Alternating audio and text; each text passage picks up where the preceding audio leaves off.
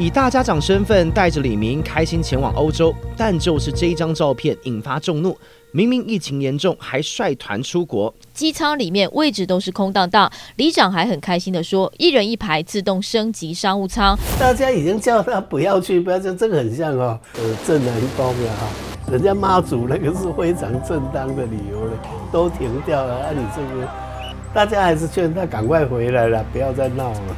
多一天就多一次感染的风险。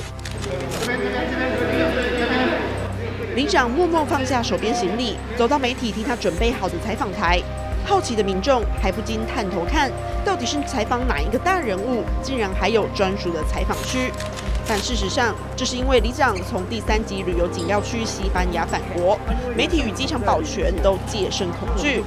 过去记者看到受访者出现，总是蜂拥而上，不断堵麦或连续按下快门，但这次则保持了一到三公尺的距离，甚至机场公司也围出采访区域，各家的麦克风也事先放在台上，记者群全程佩戴口罩，全副武装，连媒体采访都那么小心翼翼了，难怪外界会质疑里长为何要选在这个疫情严峻的期间带团出国。我不知道我们这次出国可以。造成社会浪费社会资源，造成这么大的影响，我先在这里先跟大家道歉，对不起。网络上不时的留言，不时的批评，说我是为了引一万四出门的，其实都是不对的，因为我们当初三月十号出去的时候，包括我都不知道有一万四这个事情，所以个人自己也绝对不会去。领这笔钱，医疗人员看的是相当的心寒。怎么说呢？因为呢，其实面对这个疫情，大家知道以前在 SARS 呢，很多的医疗人员、医护人员因为这个疫情而过世。所以面对这个疫情，其实我们的医疗医护人员、防疫人员呢，通通都是冒着生命危险和高度的压力之下去做事的。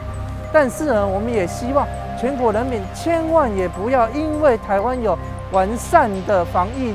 机制还有全面的医疗人员站在第一线，就轻忽这个病情，想说哇，我要出去玩啊，我马照跑，舞照跳啊。我们当初要出门的时候，前第二一天，政府才宣布二级，很多事情我们都没办法改，所以我们还是决定出门。十四号第三天，嗯，我们收到政府发布西班牙三级的时候，其实当天晚上我就决定。我们就要马上改班机回台湾。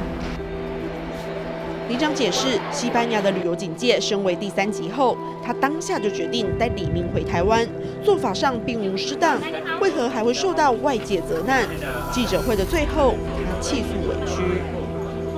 我觉得这是网红罢了，然后，而且我我不知道，我一觉醒来，电话一堆，网络一堆，全部都。